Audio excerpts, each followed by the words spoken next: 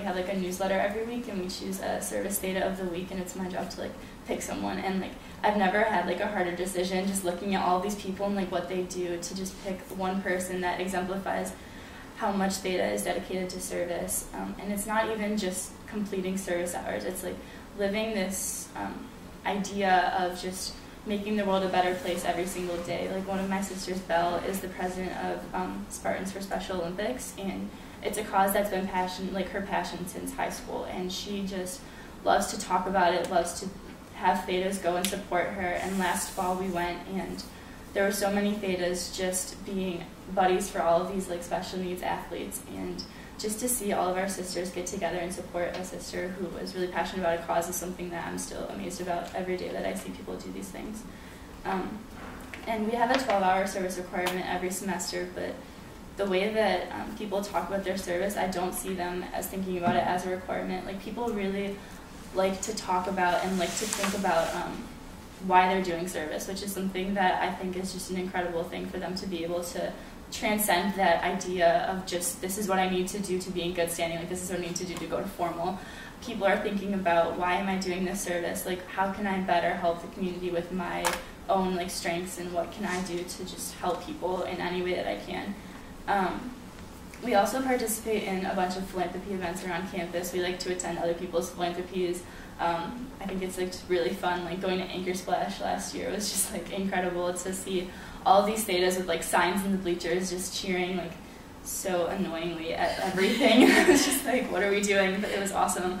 Um, and we have our own um, philanthropy events, so we're hosting Bump Set Kite every spring. Um, I'm in the middle of planning it right now for this spring, um, which goes to support the Theta Foundation, which gives um, scholarships and other like financial needs, um, financial help to people in need like that are Thetas around the nation, which is really incredible to us to be able to help someone in California go to school. It's just like it connects our sisters on a national level, like supporting this cause, and I think it's very important for us to be reminded of that. And like Bump Kite is how we do that. Um, we also have Catwalk, which I already talked about with CASA, but it's just something that everyone just is excited about every year, like being able to support all of these kids and support all of these people who are helping with so much around our community is just amazing. And um, yeah, I'm just really excited to be the service chair for this semester and just like be able to like do like implement new ideas. Like we are starting a partnership with Abington Arms in April, which is the residency like right around University Circle um, for like elderly people, and we're gonna play like games with them every month and just have like a game day and like hang out with them and listen to their stories and just things like that remind me like why I joined Theta and why I like fell in love with all of these like people and like what they do.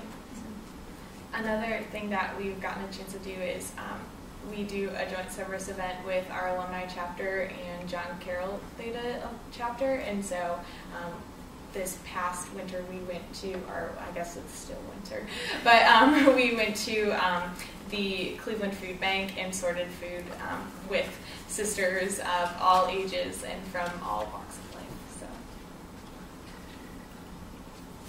So the last thing we want to touch on is our chapter presentations. So we do presentations um, fairly regularly in chapter. Um, we have at least one every chapter, if not two. This past um, this past it would have been two weeks, uh, two chapters ago, we had an all presentation chapter. So we decided that we just had so many things that we wanted to go over with people that we weren't going to do business and we were just going to um, go through presentations. So this is um, one of the most entertaining uh, presentations we had was your Rush Crush, a love story. But um, and so you know we we made it fun. We got to talk about you know why why we don't use the term rush crush and why we try to stay away from rush crushes and how it is, can be detrimental to that PNM and also to our chapter. Um, but other, um, we do have, you know, we don't just talk about recruitment in these presentations. We do a wide variety, and um, most of the time it's just um, average chapter members who are really passionate about something that um, want to speak up about it and, and talk about it with the entire chapter.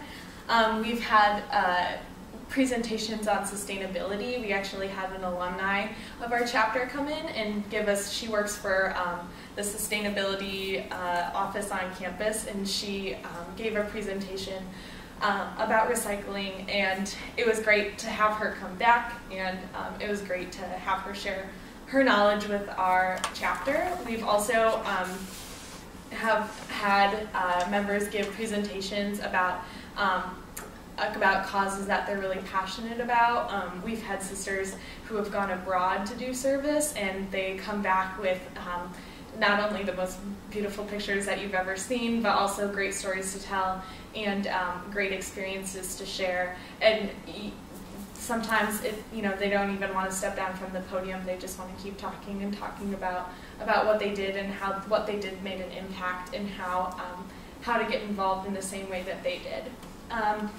We also do quite a few presentations on cultural holidays. So um, one of the things that we really appreciate in our chapter is our diversity, and we really like to showcase that, um, and we really like to educate people on things that other people are passionate about, um, in, including um, religion. And so we do try to um, incorporate when there's um, a holiday coming up of any sort, we like to allow members the chance to share what that holiday means to them and why it's important to them. Um, in addition, we have had presentations on mental health and stress management. Um, we've had smart uh, smart leaders come in and give us and give us um, instruction on how to uh, properly manage stress, and uh, especially during during stressful times like finals. Um, and that has been really helpful. Um, I remember this the start of the smart presentation we had, everybody had to lay on the floor, and we it, it was um, I think just just telling us all to lay on the floor I think made us uh, feel made us take ourselves a little less seriously and made us uh, relieve our stress automatically. Um, so I thought that that was a really great way that we could have utilized the SMART program.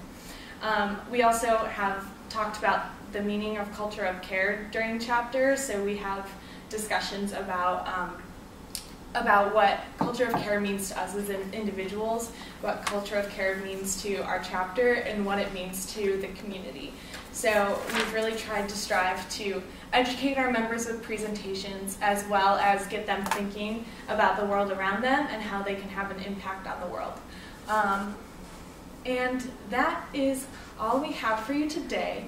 If you have any questions, we would be happy to answer them at this time.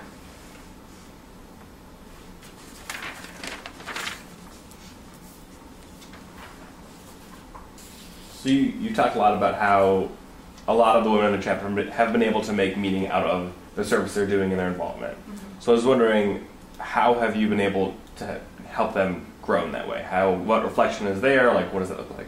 Yeah, so one of the things we did last semester that I thought really helped people start thinking about these kinds of things was we had a discussion in chapter about what breaks your heart. So um, we we had a bunch of different people, you know, the service, the past service and philanthropy director came up and wrote on the board, you know, um, you know, what breaks your heart, what what kinds of things, um, you know, make you would make you cry. And then when you think about those things, a lot of those things are attached to causes. So how can you take things that you really care about and how can you turn them into meaningful service activities? So we've had brainstorming sessions like that, and I think that a lot of our members really took that to heart and um, really applied that in their service. And um, I like to, I've run a few group service projects already this semester, and something that we like to do after is just kind of talk about the impact that we've made on something and like what types of things that we've just done and like how we've grown as people because of these. And just a few weeks ago, I went with a bunch of new members to the nature center, and we just made them like signs for flowers and stuff. But we got to talk to this amazing woman who works at the nature center, and she was just telling us all about her life and her passion and how she just loves flowers and like loves all of these things. And we just learned so much about her passion that like the entire way home we just talked about her. It wasn't even the service; it was just the experience that we had making these signs with this amazing woman. So I think that just being able to talk with your sisters about like what you're passionate about is just really important.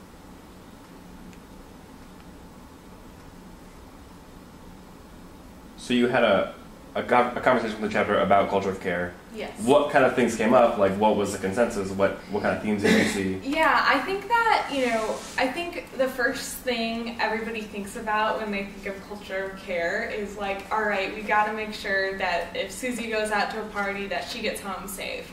And I think that that our members were really quick to pick up that that isn't the only thing that culture of care encompasses. Um, and I think that we uh, talked a lot about not feeding people's habits. So, um, you know, if if somebody consistently stays at the library until 3 a.m., you know, telling them, you know, like, hey, you know, Susie, maybe maybe you should come home and get a good eight hours of sleep because that might be more beneficial for you in the long run. Instead of like, you know, saying like, oh yeah, you know, KSL for life or you know something.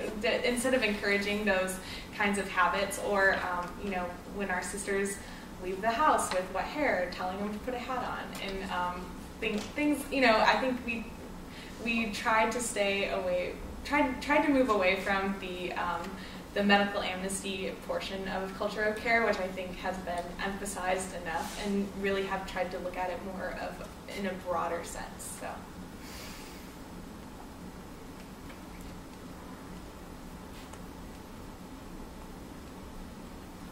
Talk a little bit about what you expect of your sisters uh, from a chapter standpoint and how you go about making sure that those expectations are met. Mhm. Yeah, so we do have requirements um, as far as you know our bylaws go. Um, like Megan had said, we have a 12-hour service requirement, um, along with a, we have a one philanthropy event per semester that um, that you can choose which one you want to go to, but you have to attend at least one. Um, we have study hour requirements, so depending on your GPA, GPA from the previous semester, it correlates with the number of study hours you have to put in, and those are and the study hours are all um, run by sisters. So, uh, you know, there's study hours hosted every day by somebody different in a different location, so they're not that hard to uh, to attend, and so then you have a chance to study with your sisters. Um, other requirements that we have, I think that's the the Yeah. basic ones, um, and then chapter, of course, every week you have to attend chapter. So, um, and so that those are um, the big things. The, the, but those are, of course, you know, the minimum standard. So that's kind of the groundwork that we lay down for everyone and say, um, you know, if you want to be a member of good standing, this is what you have to do. We find that a lot of times people go above and beyond those things. So. Um, so how do you go about, you know, if you have, if this is sort of the minimum, um, you know, in every organization there's sort of unwritten expectations, Mhm. where like, you know, if you want to be a member in good standing, this is where you're at. If you want to be, you know, a, a great uh, leading woman, then you need to be here. And how do you sort of go about making sure that, you know, that those things are pointing to the values of your organization and not just checking a box? Yeah, and I think that that's something that we've had a great conversation about. You know, what what does it, you know, what does service mean? And I think that it kind of goes back to what Megan was saying about making sure that you're finding mean, meaningful service, um, and making sure that you know you're not just going to study hours and checking Facebook or things along those lines. I think um, I think we, as an organization, really, as far as like our values go, I think we really. Um, point at them as often as we can. So in chapter, we're having a discussion about um, culture of care, you know, we can always point it back to, you know, well, we want to be leading women and we want to, you know, make sure that we're standing up for what we think would be the best for this community. And so I think we do a good job of, of pointing back to, to things in, in conversation and making sure that we're making those connections. Um, what do you? So you guys have a lot of conversations and discussions. Yes. um, so I kind of have two things with that. Yeah. Um, one would be like, what do you think was the most widely affecting conversation that you guys have had that you think really hit the chapter widespread? And then I'll have another one. But I think I don't know what you think. I I think that um, the inclusivity conversation that we had during recruitment, it like like I said, the conversation didn't stop. Like it didn't want to end, and so um, I think that you know we had girls talk about times that they felt that they were not included. We had times that girls, you know, talked about, you know, I felt so included when somebody did this. And I think it was a chance for us to, you know, think about ourselves and like how we feel included, and also think about how we can do that. Um, you know, even even when you know it, it kind of goes back to like the, the middle school you can't sit with us type thing. Um, you know i think there's a lot that you can do just to make people in your everyday life feel like they they belong at your table. And so um, it, it was a really great conversation. I think that it's it created a lot of thought and, and um, it was very impactful and i think it was really beneficial to our recruitment. Um, and even coming from like just like being new at recruitment and not knowing exactly what's going on all the time my class went back and we talked about it again. And so i think that's really important that it was like it wasn't just like a one time thing. It was like a continuing conversation and we still talked about it to this day about how important it is like to be like in our own chapter to make everyone feel included and then like this whole community. So it was really cool to like have my class still want to talk about it. Like it showed me that it really mattered what we were talking about.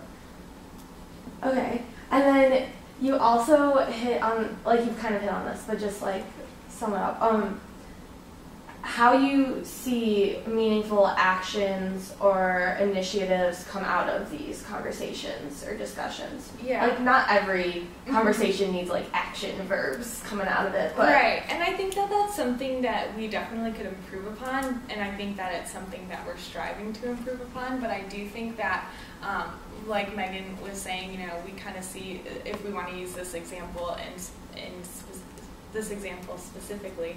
Um, I think that you know we see it now with our new members, and we talk a lot about you know don't go little hunting. You know, you take the time to get to know everyone, and not just to make sure that you're going to stick a label on them as my little. You know, you want to get to know people because they're people, and you know, and they're in your chapter, and you you want to to you know share some sort of uh, bond with them at some point. And so I think that it's definitely been something that has carried on, and um, it's been you know we saw it in recruitment, and we've also seen it in, in other aspects of our chapter.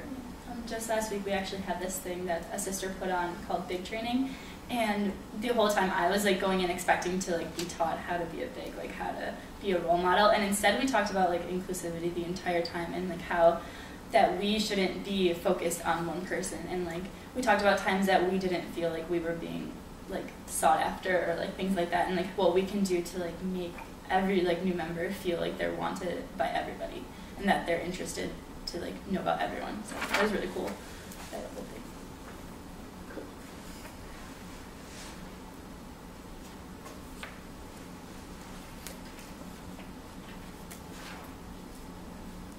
So, and I, I don't know the phrasing is on our board or judicial board. I was wondering if you could just talk to me about that process and how that's made up and Yeah. how that fits in.